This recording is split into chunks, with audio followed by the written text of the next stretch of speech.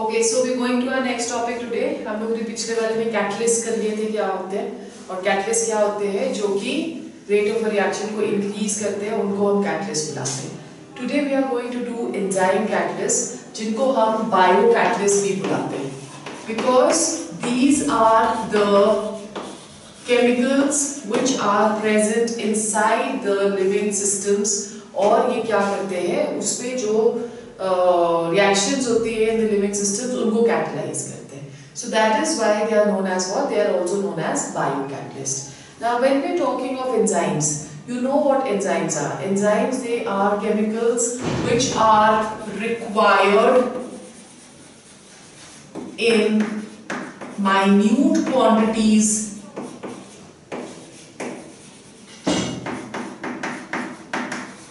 in order to increase the rate of reactions in living systems right so जितने भी living systems होंगे उसमें जो है वो enzymes they are going to help in catalyzing जैसे फॉर एग्ज़ाम्पल हम लोग बोलते हैं कि why enzymes are important the importance of enzymes is कि हमारी बॉडी के अंदर अगर कोई भी एक हम खाना खाते हैं तो that one meal can take around 50 years to metabolise ठीक है? तो अगर हम उसको एंजाइम उस पे जो है, उसकी रिएक्शन होती है या एंजाइम जो है, वो क्या कर रहे हैं, वो उस टाइम को रिड्यूस कर देते हैं to two to three hours so so, आपने देखा होगा कि आपने खाना खाया उसके बाद तीन घंटे के बाद आपको फिर से you start craving for food आपको फिर से भूख लगने लग जाती है। दैट इज़ बिकॉज़ वो जो हमने खाना खाया है वो बॉडी ऑलरेडी डाइजेस्ट कर चुकी है with the help of reactions जो कि बहुत फास्ट हो गई है because of enzymes right so whenever we are talking of enzymes there are many enzymes innumerous number of enzymes which are present in our body. For example we have the enzyme zymase which converts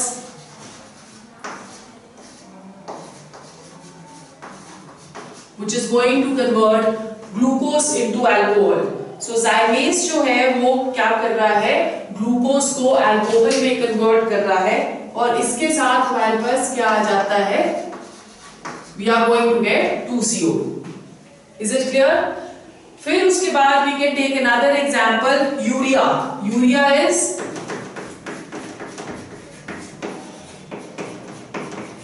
NH2CO NH2 इसको एक enzyme catalyse करती है, which is urease. ठीक है? जो urease है that is going to hydrolyse urea into water sorry ammonia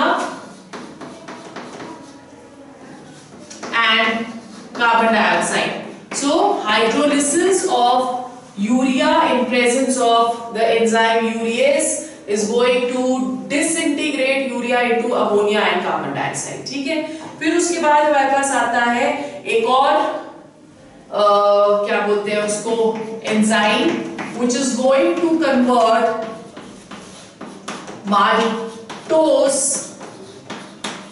और जो एंजाइम है that is going to be maltase ठीक है?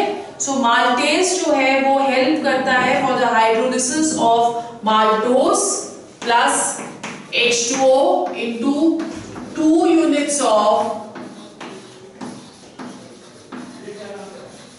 glucose ठीक है? उसी तरह से we have sucrose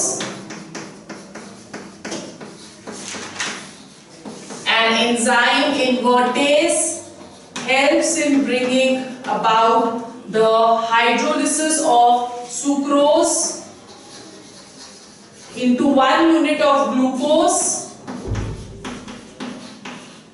and one unit of fructose.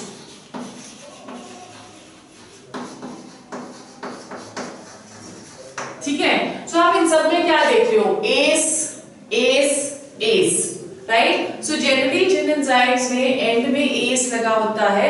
They are enzymes जो कि कार्बोहाइड्रेट्स को क्या कहते हैं कैटेलाइज करते हैं. ठीक है? इसको सारे में यहाँ पे आप देख रहे हो कि there is going to be S फिर इसके अलावा there is another enzyme by the name of mycoderma acetyl ये जो माइकोडर्मा एसिटाइल होता है this is going to be present in old vinegar तो ये हेल्प करता है in the oxidation of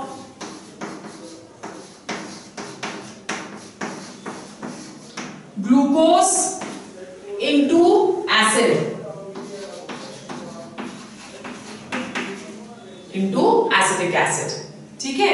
So this is mycoderma acidae which helps to convert or oxidize glucose into acid plus H2O इसके अलावा आपको पता है प्रोटीन्स को जो सिंथेसाइज करते हैं, जैसे स्टमक में pepsin is there right so pepsin क्या करता है? It has the tendency to convert proteins into peptides right so इन आ गया जो इन आता है जिसमें एंड में दे आर एंजाइम्स जो कि कैटलाइज करते हैं प्रोटीन्स को। So pepsin is going to convert proteins into peptides right in a similar manner we have trypsin which is also known as pancreatic trypsin, क्योंकि वो pancreas में होता है। So, pancreatic trypsin क्या करता है? That is going to convert proteins into amino acids, right? जैसे glucose sugars का या कार्बोहाइड्रेट्स का सबसे छोटा यूनिट होता है उसी तरह से अमाइनो एसिड्स प्रोटीन्स का सबसे छोटा यूनिट होता है। तो हमारी बॉडी जो है असिमुलेट कर सकती है जो सबसे छोटा यूनिट होएगा। तो जब भी आप आपने देखा होगा कि जब भी किसी को डिहाइड्रेशन हो जाता है या किसी को आ, खाना ना खाने की वजह से चक्कर वक्कर आने लग जाते हैं तो उसको ग्लूकोज की ड्रिप लगती है। बिकॉज़ ग्लूकोज जो है वो पहले हमारी बॉडी के अंदर इजिली असिमुलेट होता है ठीक है so this is what our enzymes are going to be there are many others जैसे lactobacilli है lactobacilli कहाँ present रहता है that is going to be present in curd so that helps in the formation of curd from milk right then next we have the characteristics of enzyme catalysis so next हमारे पास आ गया characteristics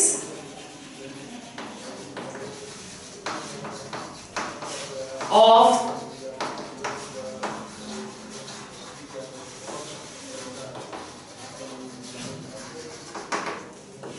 enzyme catalyst generally it is seen क्या enzyme जो है वो किस चीज़ से बने होते हैं? They are high molecular proteins protein से ही बनते हैं एंजाइम्स और जो फर्दर कैटलाइज करने में हेल्प करते हैं। तो जब हम कैरेक्टरिस्टिक्स करते हैं, जैसे हमने कैटलिस्ट के भी कैरेक्टरिस्टिक्स करे थे, उसी तरह से जब हम कैरेक्टरिस्टिक्स करते हैं of enzyme catalyst the first one is that they are highly efficient बहुत ही कम क्वांटिटी जो है, वो यूज़ होती है to catalyse the reactions enzymes are used in may used in very very lesser quantities ठीक है? और इनमें टेंडेंसी रहती है to increase the rate of the reaction to almost of the order of 10 raise to power 20 times तो इतना ज़्यादा efficient है कि 10 रेज टू पावर 20 टाइम्स तक ये एक किसी भी रिएक्शन को कैटलाइज कर सकता है, ठीक है? फिर उसके बाद सेकेंड आ गया they are use in extremely small quantities. So they are going to be used in extremely small quantities as i just told you कि बहुत ही कम quantities में use होता है जैसे for example अगर हम लोग कोई भी एक catalyst ले ले या enzyme catalyst ले ले which is as small as one millionth of one mole one millionth of one mole का मतलब क्या हुआ one upon 10 lakhs into 6.02 to 10 raised power 23 so इतना छोटा सा भी अगर होगा that has a tendency to increase the reaction from 10 raised to power 3 to 10 raised to power 6 तो इतनी वो एंजाइम की जो क्वांटिटी uh, है वो बहुत ही कम चाहिए for the reaction to be catalysed ठीक है? फिर उसके बाद थर्ड इसका कैरेक्टरिस्टिक आ जाता है specificity this is a very important characteristic it is seen that enzymes, they are going to be very very specific. जैसे फॉर एग्ज़ाम्पल अगर हम लोग यूरिया की हाइड्रोलिसिस कर रहे हैं, जैसे कि हमने अभी एक रिएक्शन देखा था, अगर हम यूरिया की कैटेलिसिस कर रहे हैं तो सिर्फ़ यूरियस ही इस रिएक्शन को कैटेलाइज कर सकता है। ठीक है? उसी तरह से अगर हम सुक्रोज की कैटेलिसिस करते हैं तो सिर्फ़ इन्वर्टेस सॉरी हाइड्रोलाइज करते हैं तो it is only invertase which is going to catalyse this reaction कोई और नहीं कर सकता। उसी तरह से माल्टोस को सिर्फ़ माल्टेस कर सकेगा लैक्टोस को सिर्फ़ लैक्टेस कर सकेगा। So these are going to be highly highly specific in nature ठीक है? फिर उसके बाद थर्ड हमारे पास आ जाता है दैट इज़ फोर्थ सॉरी हमारे पास आ जाता है दैट इज़ ऑप्टिमम टेम्परेचर कोई भी एक कोई भी एक कोई रिएक्शन होता है बॉडी के अंदर वो सबसे बेस्ट होता है at the body temperature which is equal to 38 degree Celsius ठीक है? सो so बेस्ट जो एंजाइम्स की जो प्रॉपर्टी रहती है to catalyse that is anything between 298 kelvin to 310 Kelvin, where 310 Kelvin is going to be our body temperature. So you must have seen कि when you have fallen sick, बुखार हो गया आपको टेम्परेचर बॉडी का race हो जाता है तो at that time you don't feel hungry that is because जो भी आपने खाया है उसका जो मेटाबॉलिक रेट है वो बहुत कम हो जाता है right so the best temperature for enzymes to catalyse any reaction that has to be 310 kelvin right फिर उसके बाद एक हमें ऑप्टिमम पीएच की भी ज़रूरत है optimum pH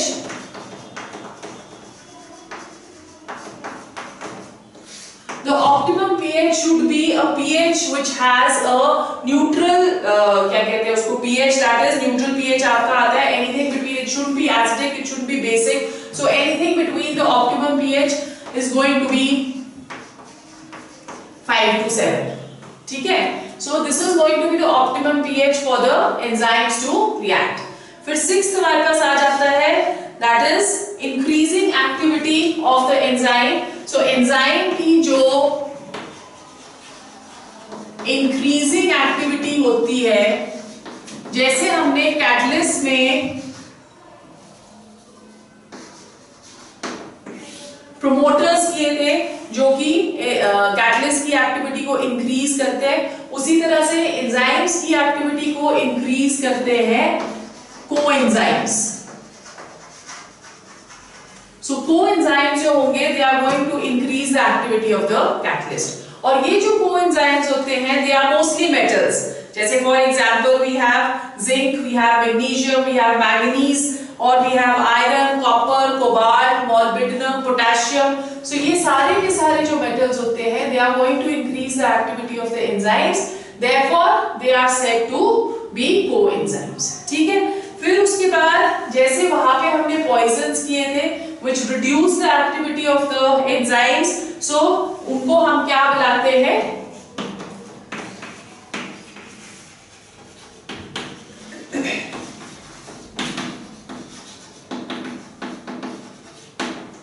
जो रिड्यूस करते हैं एक्टिविटी ऑफ़ एंजाइम्स को, उनको हम बुलाते हैं क्या? They are known as inhibitors और poisons ठीक है they are going to be known as inhibitors or they are said to be poisons तो poisons क्या करेंगे they are going to decrease the activity of the enzymes ठीक है now over here these inhibitors what they are going to do they generally जो इसपे enzymes में active functional groups होते हैं उनके साथ वो react करते हैं और उसकी activity को कम कर देते हैं right so we have two new terms over here one is coenzymes which are going to which is going to help the to increase the activity of the uh, enzyme और दूसरा हमारे पास क्या आ गया inhibitors जो क्या कर रहा है decreasing the activity of the enzyme ठीक है now let's go on to the mechanism of enzyme catalyzed reactions we are going to go on to what we are going on to the mechanism of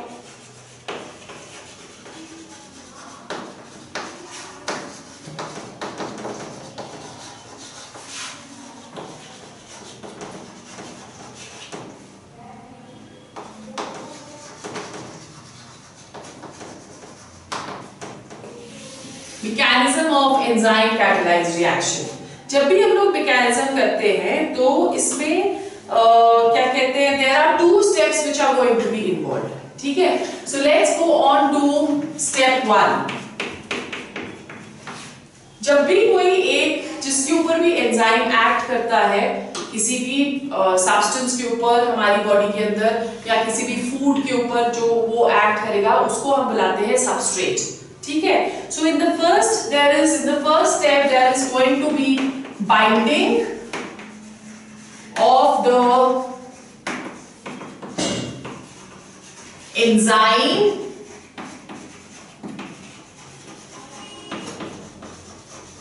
to the substrate so first step में binding of the enzyme to the substrate होता है which means that we can represented as E plus S to give us an enzyme substrate complex which is going to be unstable. ये वाली जो reaction होती है this is going to be a fast reaction. ठीक है फिर step two में क्या होगा जो एंजाइम सबस्ट्रेट है वो क्या बनाएगा that is going to disintegrate and form enzyme product so we have over here enzyme substrate जो कि बना देता है एंजाइम प्रोडक्ट और फिर उसके बाद dissociation is going to take place to reheal the enzyme enzyme हमारे पास वापस आ जाती है। ये वाला जो रिएक्शन होता है this is going to be a slow reaction ठीक है? और ये जो स्लो रिएक्शन होता है, आपको पता है काइनेटिक्स में that is going to be the rate determining reaction तो step two that is going to be our rate determining reaction Is it clear? Then after that, whenever we are talking of these steps, these steps ये हमें exact mechanism of the reaction नहीं बताती.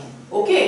कोई भी एक substrate जो होगा उसका एक particular uh, structure होता है. उसी तरह से हर एक enzyme का भी एक particular structure होता है. तो जब हम लोग मैकेनिज्म एंजाइम कैटलाइज्ड रिएक्शंस का बताते हैं तो हम बोलते हैं कि जो एंजाइम है that has one structure substrate has one structure only those enzyme and substrate they are going to react with each other which can fit into each other with the help of lock and key mechanism. So the first mechanism which we explain over here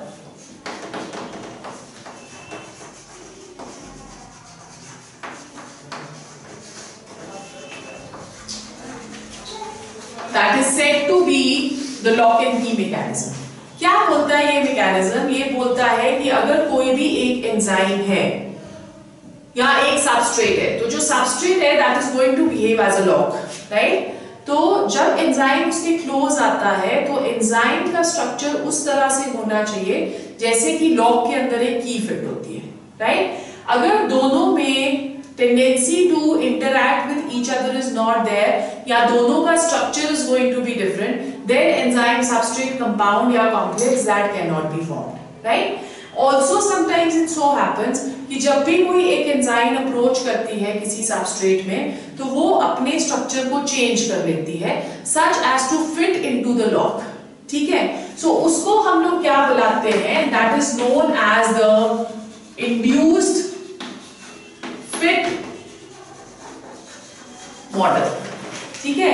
induce fit model का मतलब कि उसने अपने अंदर enzyme ने कुछ changes कर ली है इन सच अ मैनर कि वो प्रॉपरली जाके उस सबस्ट्रेट uh, के अंदर फिट हो जाए ठीक है? इंड्यूस फिट मॉडल को एक और नाम भी दिया गया था which is known as the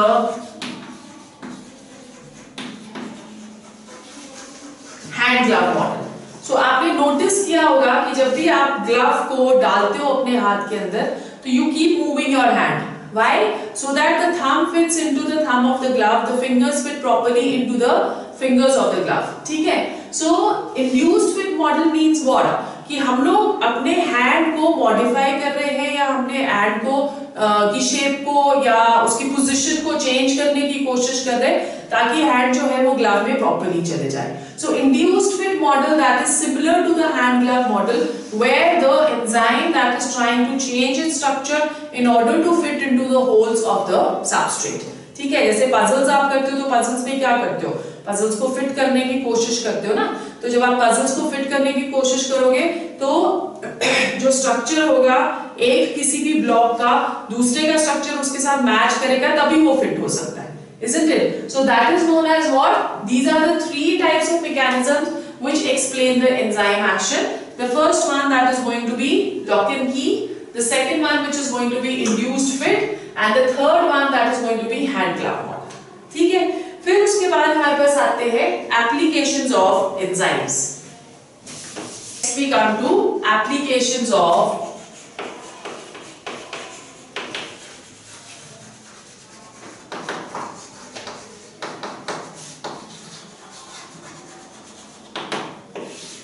enzymes right when we're looking at the applications of enzymes the first one which we have they are known as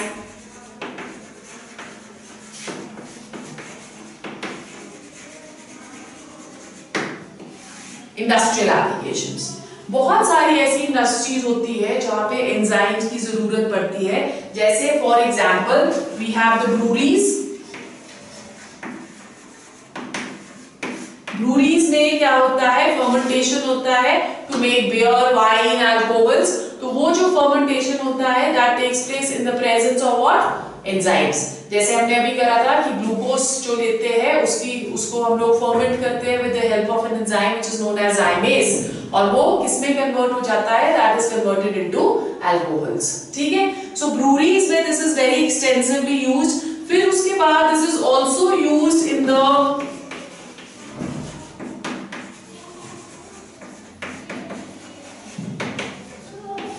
food industries okay जो food industries होते हैं, इससे हम लोग बोलते हैं कि in all these food industries जैसे शुगर सिरप्स वगैरह बनती है तो उन शुगर सिरप्स पे भी क्या चाहिए? हमें एंजाइम की एक्शन चाहिए रहती है, ठीक है? फिर thirdly it is also use in the production of cheese by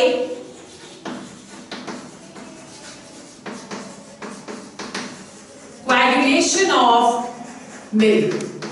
So for this reaction also जो cheese बनता है coagulation of milk के लिए उसके लिए भी हमको कुछ एंजाइम जो है उसकी ज़रूरत पड़ती है so it is also used over here ठीक है second जो इसकी application है that is the deficiency of enzyme that causes certain diseases so what are these enzyme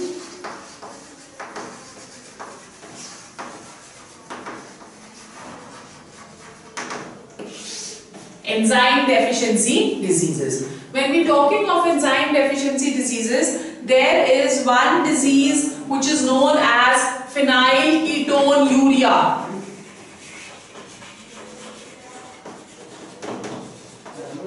Which is known as phenylketonuria. This is uh, caused due to the deficiency of an enzyme which is phenylalanine hydroxylase enzyme ठीक है? So this is cause by phenylalanine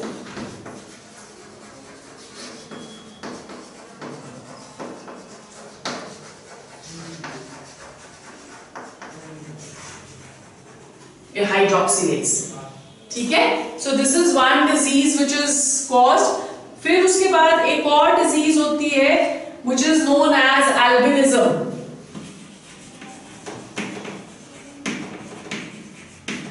albinism that is caused by the deficiency of tyrosinase that is an enzyme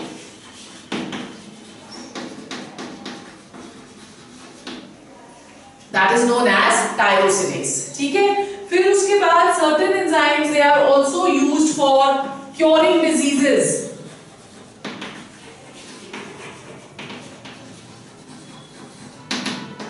they are used for curing diseases Diseases को cure करने के लिए there is one enzyme which is streptokinase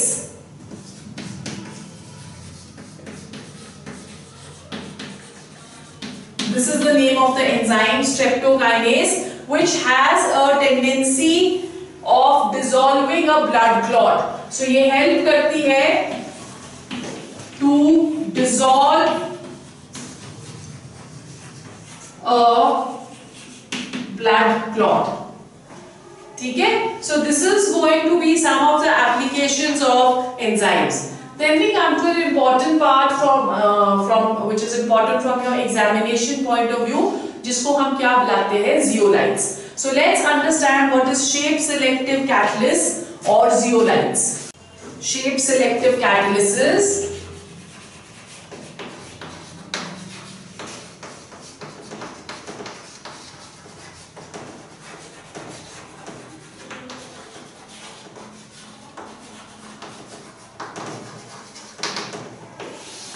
by zeolites. Now, what do we understand by selective catalysis? यहाँ पे जो catalyst का function होता है, या जो कैटलिसिस का प्रोसेस होता है that is going to depend upon the pore structure and size of the catalyst which means कि सिर्फ़ वही वाले सबस्ट्रेट्स जो कि इन कैटलिस्ट के अंदर एंटर कर सकते हैं, इन पोर्स के अंदर एंटर कर सकते हैं, सिर्फ़ वही कैटलाइज होते हैं by zeolites so basically they are what zeolites they are known as shape selective catalyst ठीक है? Now whenever we are talking of zeolites we say that zeolites, they are microporous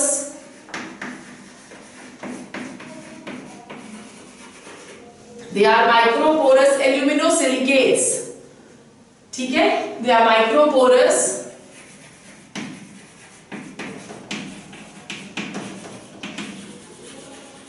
aluminosilicates with the general formula mx by n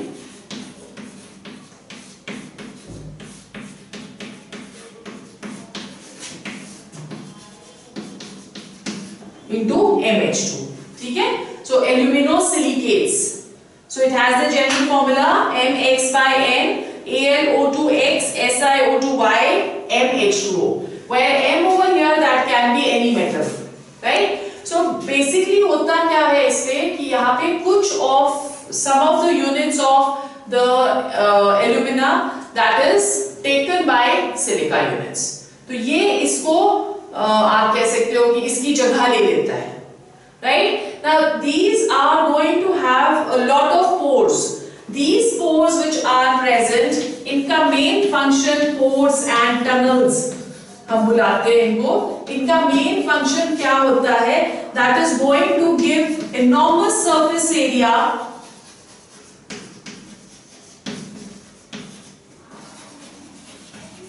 it is going to give enormous surface area for the reaction to take place. हमने पढ़ा था कि catalyst जो है, उसकी activity depend करती है on the surface area जितनी ज़्यादा सरफेस एरिया होता है, उतना ही ज़्यादा एक्टिविटी ऑफ़ अ कैटलिस्ट होती है। तो ये जो पोर्स एंड टनल्स हैं, इनका मेन फ़ंक्शन यही है to give a lot of surface area ठीक है? ये जो होल्स होते हैं, इनको हम क्या बुलाते हैं? They are known as the active sites right so जो भी as I have already told you कि जो भी सबस्ट्रेट इन एक्टिव साइट्स में अंदर घुस सकता है या एंटर कर सकता है और अपनी जगह बना सकता है, वो वाली रिएक्शंस ज़्यादा कैटलाइज होती है। ठीक है? So this is what we have over here zeolites and one example of zeolites that is ZSM5 which is used to convert alcohol to gasoline. Now, what happens over here is, ये जो alcohol है, ये ZSM5 के holes के अंदर चला जाता है। और जब उसके होल्स के अंदर जाता है तो वहाँ पे वो डिहाइड्रेट हो जाता है। डिहाइड्रेट का मतलब क्या हुआ? It is going to lose a water molecule once वो एक वाटर मॉलिक्यूल लूज कर देता है तो गैसोलीन क्या है? That is going to be a hydrocarbon so, alcohols that can be converted into hydrocarbons by loss of water molecules. ठीक है? So, with this, we finish our first part of the chapter. Uh, there are a few catalysts which are very very important in the industry. So let's see वो कौन से हैं.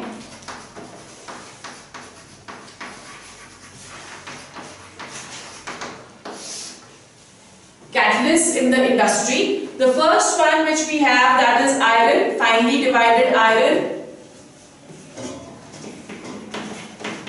And we are using molybdenum as a uh, promoter. This is used in Haber's process for the manufacture of ammonia. ठीक है फिर उसके बाद हमारे पास आ जाता है B2O5 which is used in the contact process for manufacture of sulfuric acid H2SO4 ठीक है and then we have platinized asbestos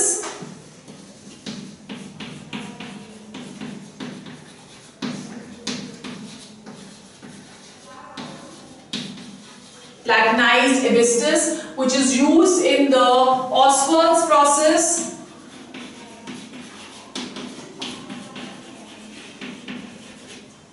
uh, for the nitric acid. Okay? So these are some commercially important catalysts which are used in the industry. So with this we finish the first part of the chapter. Okay? We go on to the second part of the chapter which is the colloidal state. Okay? So let's go on to the second part now.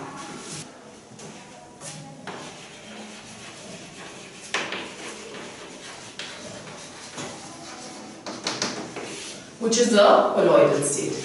So, let's understand what is colloidal state. The scientist जिसने सबसे पहले colloidal state के बारे में कुछ हमें idea दिया था, his name was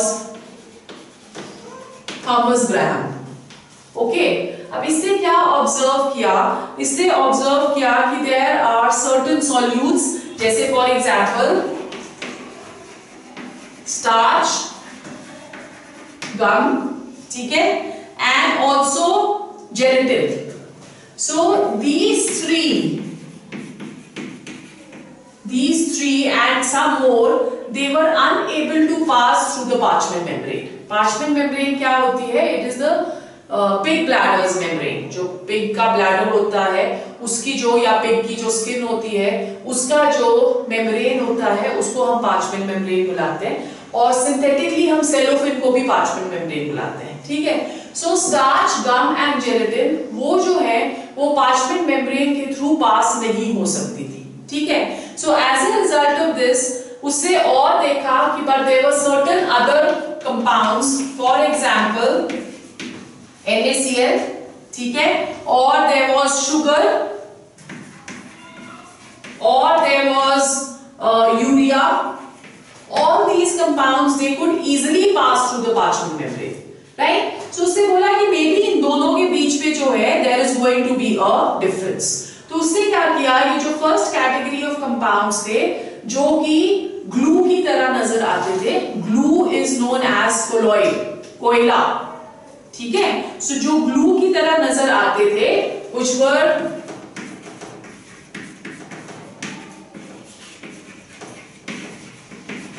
he named these as colloids which means glue like which do not have the tendency to pass through the parchment membrane ठीक है But over here, the rest of them, जैसे NaCl हो गया, sugar हो गया, urea हो गया, which can pass through the parchment membrane, उसको उसने नाम दे दिया क्या?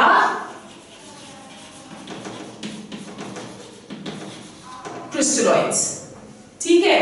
सो so, उसने सॉल्यूशंस को क्लासिफाई कर दिया into two types one which were known as a and other one that was known as the but ये जो डेफिनेशन थी that was not appropriate that is because जब NaCl को वाटर के अंदर मिक्स करते हैं तो वो क्रिस्टलॉइड की तरह बिहेव करता है। पर अगर NaCl को हम बेनजीन के अंदर डालते हैं तो वो क्लोइड की तरह बिहेव करता है। तो हम NaCl को एज अ क्रिस्टलॉइड नहीं ले सकते अनटिल अनलेस हमें पता है कि मीडियम जिसमें हम डिसॉल्व कर रहे हैं वो क्या है। ठीक है? So according to that the definition that was not correct Now, over here, it was also seen that as I just told you, कि जब हम लोग NaCl को water में डालते हैं तो it is going to behave as a going और जब हम NaCl को बेंजीन में डालते हैं it is going to form like a और behave as a colloid in a similar manner if we take soap soap को अगर अगर हम वाटर के अंदर डालते हैं it is going to behave as a colloid पर अगर हम सोप को एल्कोहल पे डालते हैं it is going to behave as a crystalloid so basically we can not classify any substance into colloid and crystalloid it is going to be the nature of that particular substance की वो किस medium में कैसे depend करता है या कैसे behave करता है। तो उस बेसिस पे ये बोला गया कि जो कोलॉइड है as you can see over here we have written colloidal state जो कोलॉइड्स है they are not substances but they are going to be state of substances state of substances जैसे आप किसी भी एक आ, किसी भी एक मैटर को क्लासिफाई करते हो to solid liquid and gas ठीक है? Solid liquid and gas that depends upon the temperature and the pressure conditions in a similar manner क्या चीज़ एज क्रिस्टलॉइड बिहेव कर रही है और क्या चीज़ एज कोलॉइड बिहेव कर रही है वो डिपेंड करेगा कि मीडियम कौन सा है। तो इसलिए it was said that colloids are state of substances and not substances ये वन मार्क का क्वेश्चन कई बार आ जाता है which is going to depend upon the molecular size ठीक है? So what are we saying that colloids are not substances but state of substances which are going to depend upon the molecular size now, depending upon the molecular size of the solute, we are now going to classify the solutions into the following types. When we are classifying the solutions, there are going to be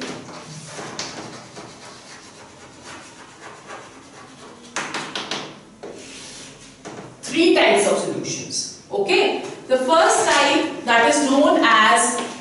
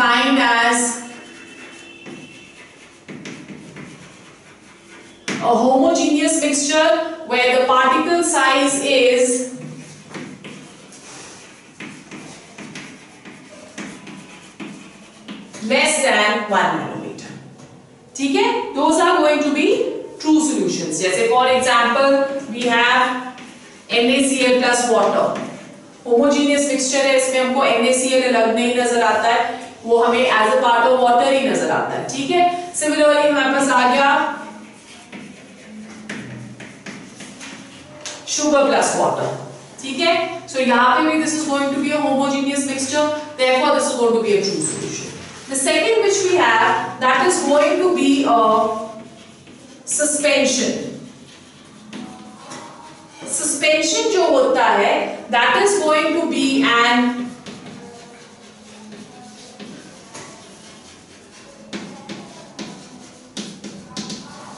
heterogeneous solution in which the particle size is greater than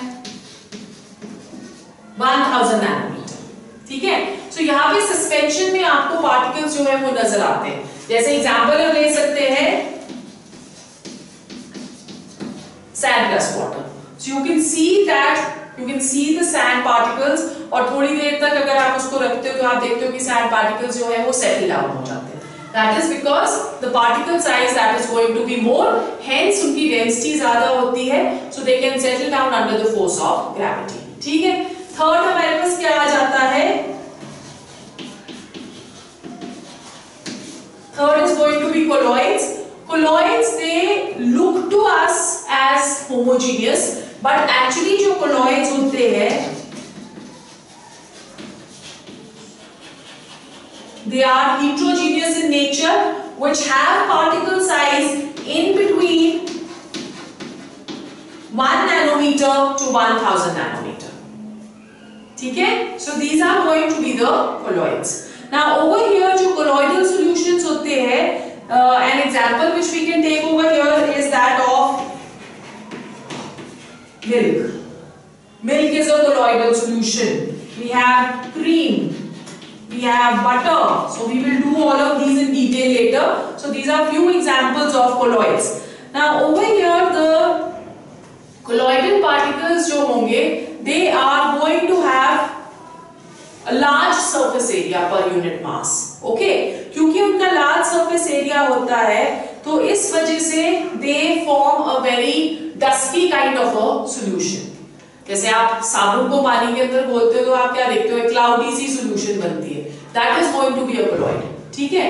Now over here when we are talking of colloidal solutions they come in between true solutions and suspensions right जैसे एक principal हमने करा था, जब हमने start ही करा तो एक प्रिंसिपल हमने क्या करा कि जो ट्रू सॉल्यूशंस है they can not be they can pass through the parchment membrane very easily right अगर हम लोग फ़िल्टर पेपर लेते हैं, उसके थ्रू NaCl डालेंगे तो क्या होगा?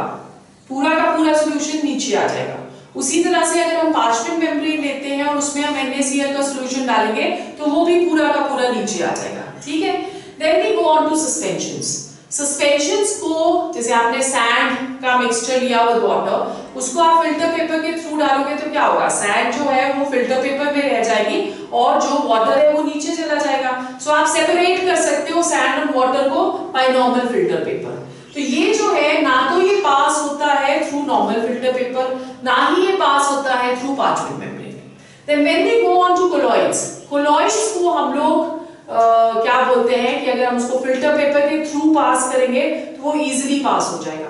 पर पार्चमेंट मेम्ब्रेन के थ्रू वो पास नहीं होता।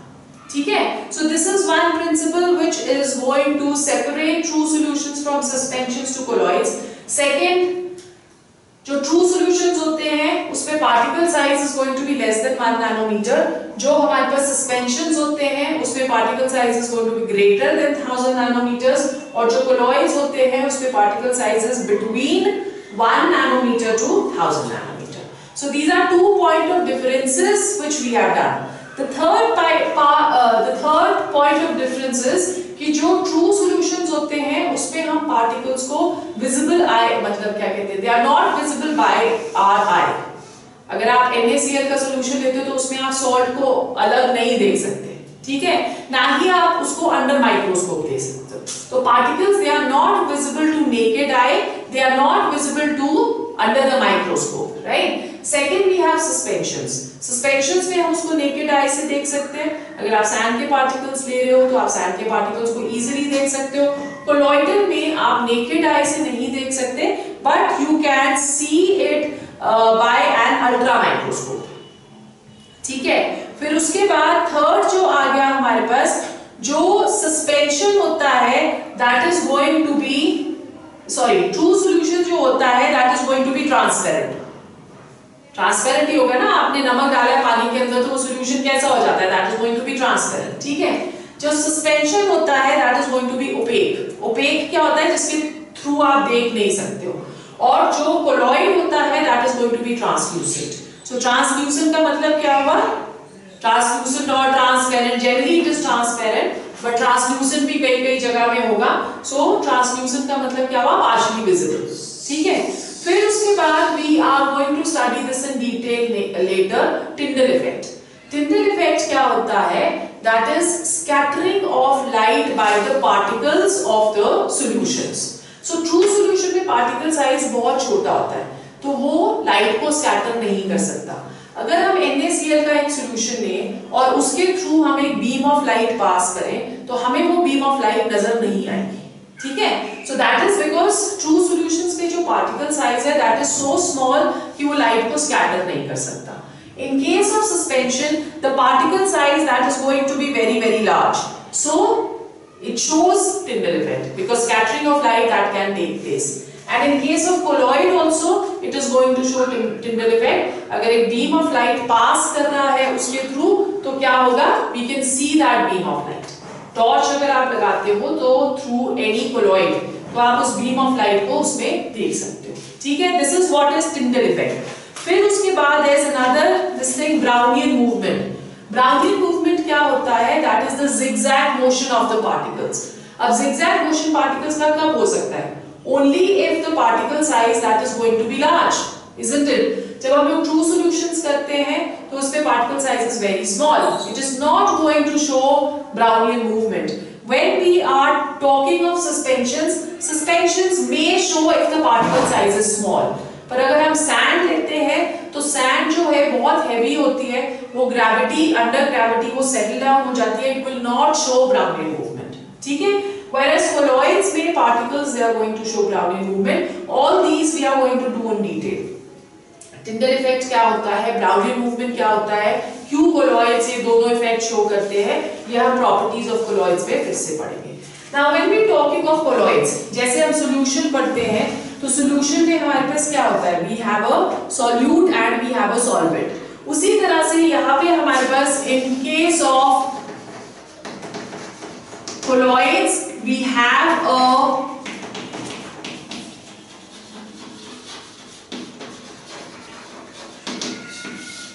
dispersed phase dispersed phase क्या हुआ? Which is going to be in a lesser quantity Okay, so dispersed phase is generally the component which is present in small quantities and it is related to the solute of two solutions. Okay? The second which we have that is the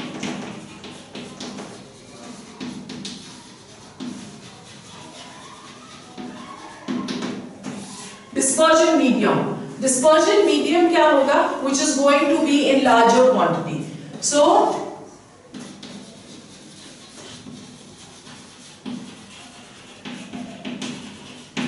it is going to be present in larger quantity और ये जो है इसको हम लोग को relate करते हैं to the solvent ठीक है so dispersed phase which is present in smaller quantity और dispersion medium which is present in larger quantity या हम बोल सकते हैं कि जो डिस्पर्स्ड फेस होता है, वो डिस्ट्रीब्यूटेड रहता है in the dispersion medium just as solute is distributed in the solvent in case of true solutions clear so today we do till here only tomorrow